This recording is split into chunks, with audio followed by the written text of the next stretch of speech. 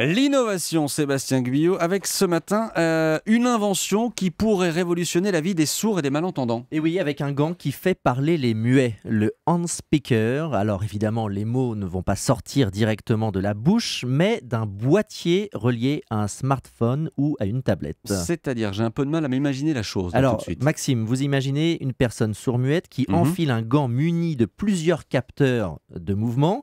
Cette personne s'exprime normalement en langue des signes. Ses gestes sont ensuite traduits sous forme de mots via une appli et le son sort par un boîtier. Et c'est comme ça que la conversation peut commencer. Absolument, puisque l'autre interlocuteur s'exprime avec ces mots, les sons, ces mots sont captés par le boîtier qui les retranscrit ensuite sous forme de texte sur le smartphone de la personne malentendante. Euh, qui a inventé ce gant intelligent qui traduit donc la langue des signes? Eh bien, figurez-vous que ce sont de jeunes étudiants, ingénieurs de l'école des mines de Nancy. Ils planchaient sur un projet en cours d'innovation, un projet qui a déjà reçu d'ailleurs plusieurs prix et qui pourrait représenter la France lors d'une Coupe du Monde en Chine en octobre prochain. Euh, C'est encore à l'état de prototype ou est-ce que c'est déjà commercialisé? Alors c'est encore un prototype Mhm. avec des fils un peu partout sur le gant, mais bientôt ce sera en Bluetooth, à tel point que l'an prochain, le futur ingénieur de 21 ans à l'origine du projet, Salah Gamizi, c'est son nom, consacrera six mois de son cursus au lancement de sa start-up. Et nous serons fiers de dire que nous étions les premiers à en parler. Merci beaucoup Sébastien Guyot et à tout à l'heure.